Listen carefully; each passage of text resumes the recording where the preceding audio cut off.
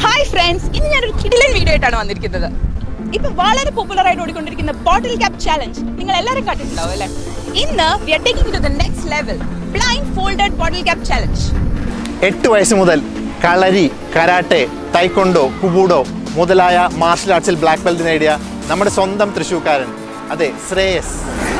അപ്പോൾ നമ്മൾ ഇന്ന് ഇവിടെ കാണാൻ പോകുന്നത് ശ്രേയസിന്റെ bottle cap challenge blindfolded bottle cap challenge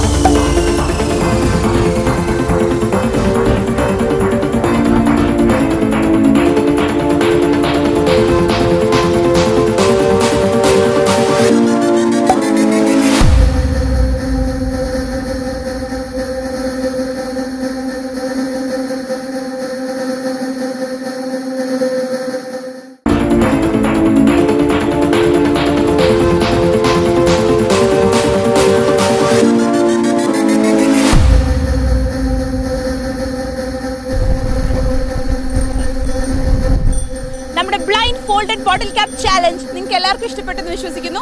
മറ്റൊരു വേറിട്ട വിഷയവുമായി കാണുന്നത് വരെ ഗുഡ് ബൈ